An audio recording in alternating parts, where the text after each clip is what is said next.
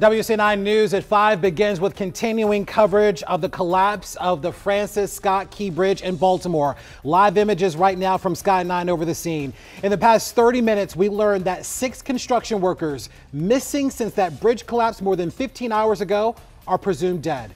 Our assignment desk has calls into MDOT, NTSB, Governor Wes Moore's office about those workers that are now presumed to be dead. This video shows the moment the busy roadway came crashing down. It is dramatic video. It is just like watching a bunch of toothpicks crumble, and that's what you're going to see here, the moment of impact. The bridge crumbled in the, into the Patapsco River around 1.30 this morning after that cargo ship slammed right into it. Officials say the ship was experiencing power issues at the time. And we have new reporting this hour on the Baltimore bridge collapse. Thank you for joining us. I'm Simone D'Alba. And I'm Larry Miller. Let's get you caught up on three things that you need to know right now. Here's the newest information. It's my intention that the federal government will pay for the entire cost of reconstructing that bridge. And I expect the Congress to support my effort.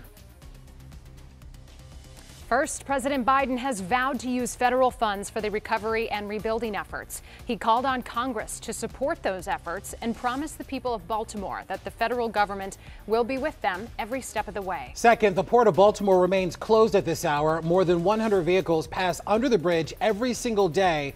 And right now, the traffic there remains at a standstill.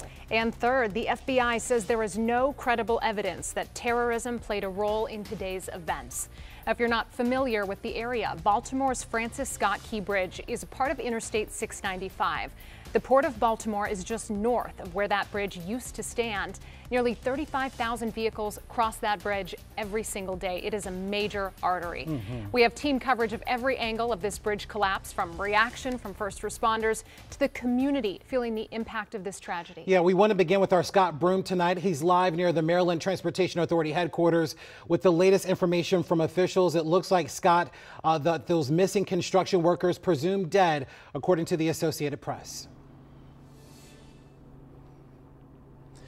Yeah, the attempt to recover these individuals is the primary focus. It remains the focus. There were, by the way, two survivors who somehow survived this calamity, and it's unclear exactly how that happened.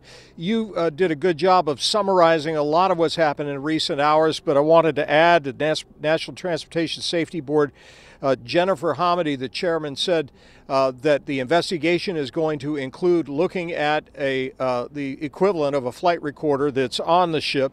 Pete Buttigieg, the transportation secretary, calling this bridge a cathedral of American infrastructure, saying it will not be quick and it will be very expensive to replace it. But the governor, Wes Moore, putting the focus on the people who are missing as a region, a state, and the nation reacts to this.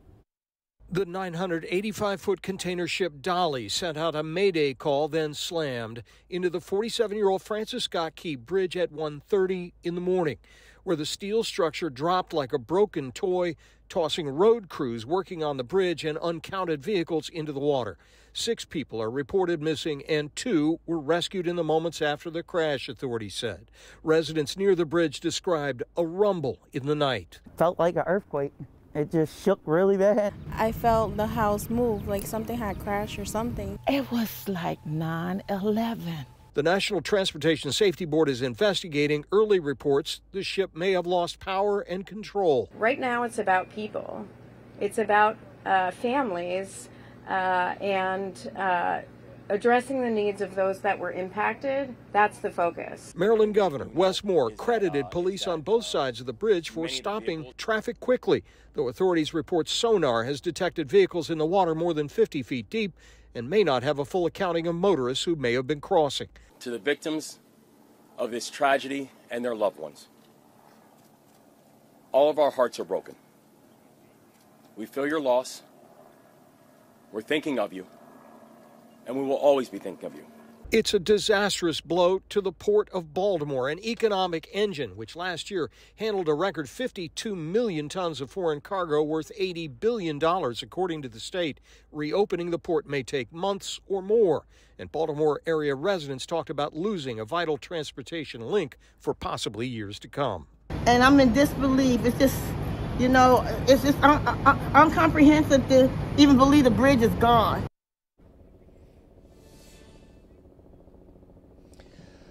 Rescue and recovery operations are continuing out on the water here at the bridge. We've just seen mobile office space being brought in, heavy equipment being brought in as the long road to recovery begins here at the foot of the Key Bridge in Baltimore. In Baltimore, Scott Broom, WUSA 9, back to you. And certainly our hearts and thoughts are with all of those that have been impacted by the events of today. Scott Broom, thank you so much.